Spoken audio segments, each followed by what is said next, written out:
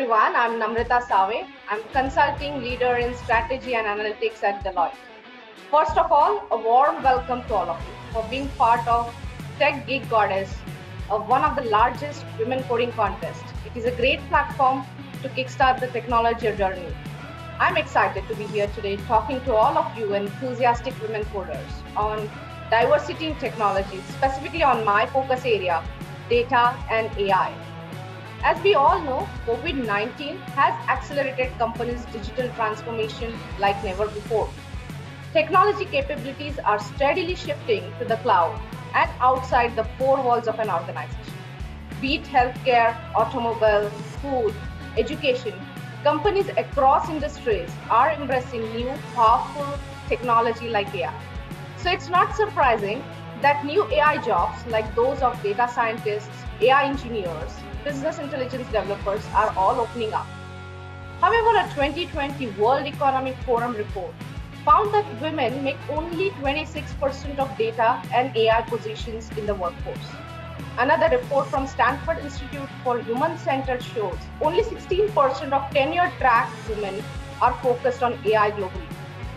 We all know diversity is essential for progress of any technology as it fosters creativity, it helps in developing inclusive systems. Talking specifically about AI teams, the importance of diversity is connected to one of the biggest challenges facing AI today, biases within AI systems.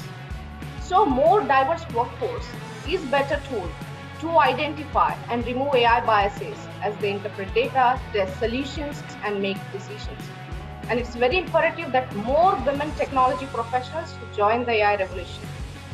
At Deloitte, I have been leading a program to hire women in Deloitte data and AI teams, specifically the ones who are returning from maternity or taking a break, or those who have without any prior experience in AI and data. These programs are focused on cultivating a new breed of technology leaders who come from diverse, non-technical backgrounds and demonstrate critical thinking, problem solving, and communication skills. The highlight of the programs have been to provide personalized learning journeys, refresher trainings, help the diverse new hires upskill on technology, and enable them to work on AI and data projects. Along with recruitment and training programs, mentorship is been a key driver in shaping up a successful AI career journey. When I look back at my career, most of my successes could be traced back to a mentor. Finding a mentor is not a passive activity and it definitely requires to reach out to individuals with whom one could relate to. Mentorship programs help to identify opportunities, set expectations, and overcome barriers in, in a career journey. In my experience, organization design programs can have their benefits. Informal and authentic mentorship can be even more influential and help mentee have a successful journey. There are quite a few challenges that women face while advancing in technology journey, especially in leadership roles. A study in 2016 revealed how women representation declined at successful levels in IT.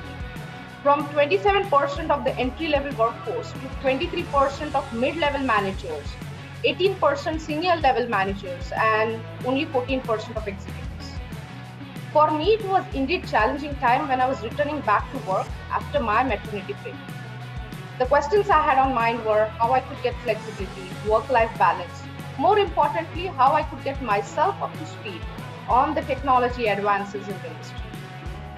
But what worked for me, I got myself enrolled on mentorship programs, I got myself trained and certified, and, and very similar to as all of you are participating in this contest, I made best use of the caregiving and well-being programs that were available. The key leadership traits of empathy, communication, interpersonal skills, not shying away from asking questions are some of the differentiators that have helped me transition to more successful leadership roles. If I look back at my career journey from developer to leader on AI data, I have always been open to learn and embrace new technologies. I've invested time to build deeper understanding of clients' business problems and build meaningful relationships with peers and leaders. It was my pleasure indeed talking to all of you and sharing my views on how we can enhance diversity in technology. Hope this was helpful to you. Congratulations to you and best wishes for the contest ahead.